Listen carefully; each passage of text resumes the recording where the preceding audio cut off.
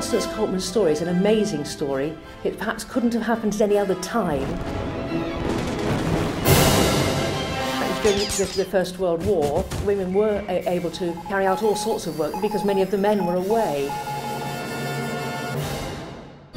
So we brought together a group of 17 women today to start thinking about how we could actually celebrate a century of women's leadership. Kirsty Thorpe led us in um, telling the story of Constance Coltman, who ministered in uh, Darby Street, which is near the famous Cable Street where the Battle of Cable Street happened. And the area, of course, has changed significantly. But still, you could see some of the challenges that a ministry in the East End it perhaps couldn't have happened um, except for the way congregational churches are constituted. So Constance went to Mansfield College and the principal at the time said of course she could come and enter ministerial training but there was no way they could guarantee that she would be ordained. We came back here all together and then discussed together, well, what does this story actually mean for us today? How can we actually support um, women as they grow into leadership? She was ordained first um, in her maiden name, and then she was married the next day, and that was very important.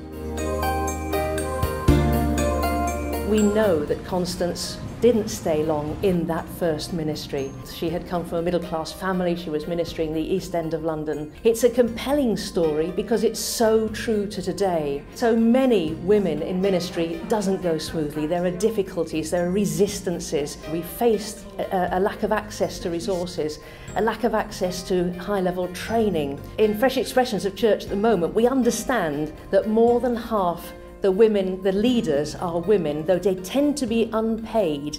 And the paid people, the people who are uh, more prominent, tend to be the men. It's the women who are taking the lead, right on the edges, on the margins, right the way through history. That is very much a sign of the presence of the Holy Spirit. But we think that at least with today we've started a process of some further thinking and some creative planning.